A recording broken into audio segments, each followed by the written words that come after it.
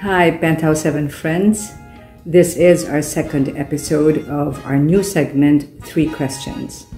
And I'm very happy to start it with Charito Ampil's questions for me. Hello, Anna. Here are my questions. You are such a good dancer, and I know you started young.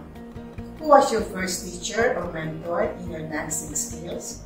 Or did you just learn from watching? Well, when I was five years old, I did take some ballet lessons with Georgie Felix. But I sprained my ankle so fast I never came back. So I don't consider anyone my first teacher, really. But you're right, I did watch. And I watched a lot. I grew up watching my dad dance, my titas and titos dance. Every family gatherings we had, there were a lot of dancing, and that's all I did was watch and enjoyed it. And of course, tagged along with my dad when he'd go to rehearsals to my Tito Chito Feliciano's house for the Latin group's rehearsals. There, I was exposed to Latin dance. That's why I love it so much. But the real good hard training happened when I was in Penthouse 7. And you're right again there. I started early. I was in the show when I was 13 years old. And I'm I'm blessed to have my dad's dancing genes. He is the reason I'm dancing. To be able to be in one show with him is is a dream come true. And to dance in the same dance floor with him and my Tito Archie and my titas and titos in the Latin group and of course my brothers and sisters in the modern group.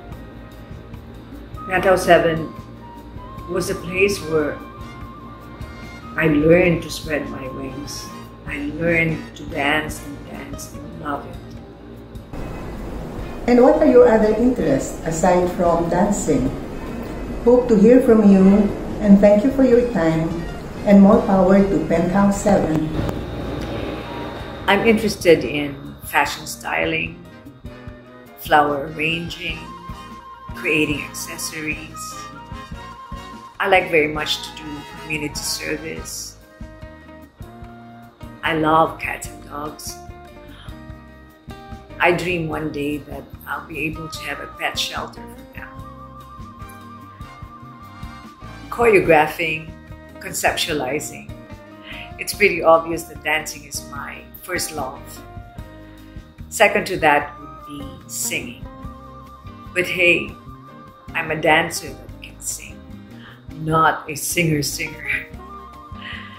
But again, I'm blessed to have been able to do both. To be able to have best of both worlds. After Penthouse 7, I did singing and dancing together. I was in the band scene for a long time, but I no longer sing professionally. But I have the opportunity to continue singing for him. So, thank you, Charito. It's my pleasure to answer your questions. Take care and hope to hear from you soon. And also hope to hear from our other friends out there. More questions, okay? Take care. Bye. Hello, I'm Marlene, and I'm here to answer Elvie's question for me.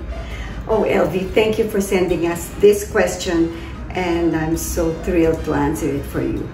Anyway, Elvie's question is Marlene, how did you develop such a vivacious personality?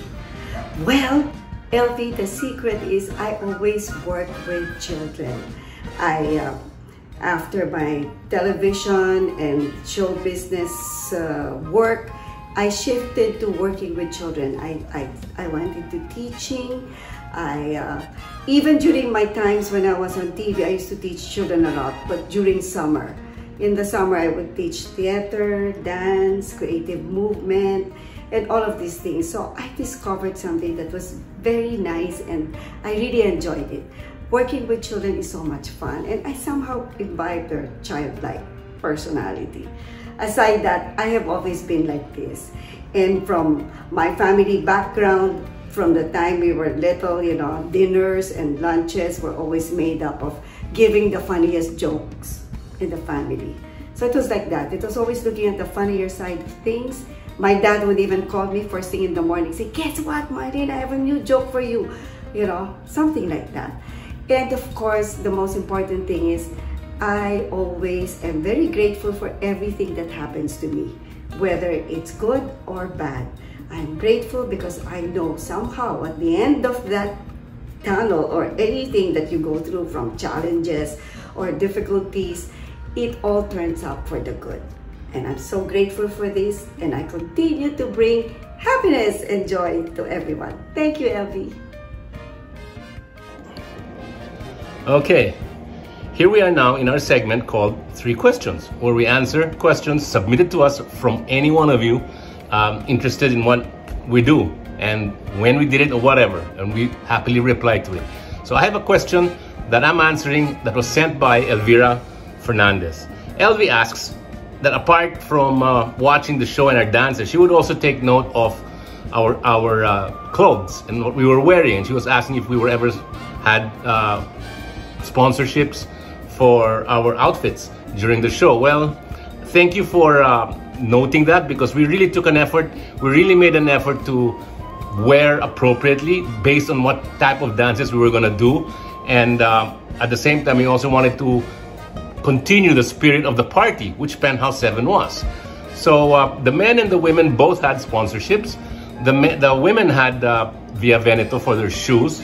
They had uh, designers uh, like Efren Africa and Barge Ramos, who and other designers who would uh, submit clothes to them, provide them with outfits that they would pick pick out pick out and wear during the course of the the season that we had.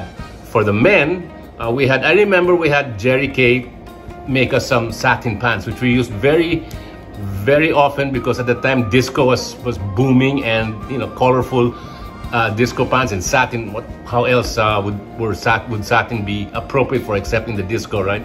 So we would be wearing our satin pants often. Barge Ramos also made us suits at one point. Uh, we would wear them for the show as well. And um, uh, before I joined, there was there was I think shoe wear also, footwear, but uh, I think uh, some bootmaker that I didn't benefit from because I wasn't there yet. I would have wanted to have one of those boots. Um, so there you go. Um, yes, we did have sponsorships, and yes, uh, we made them, we wore them in accordance to how the dance was going to go so that it would look appropriate. And uh, once again, I thank you for asking that question. Do submit more questions. Any of you out there, do submit more questions. Email them at info at penthouse7.com. You can also email the video where we will now present your video and then side by side with our video response. There, we see each other on TV. And if we don't see each other on TV or on YouTube, we'll see you on the dance floor.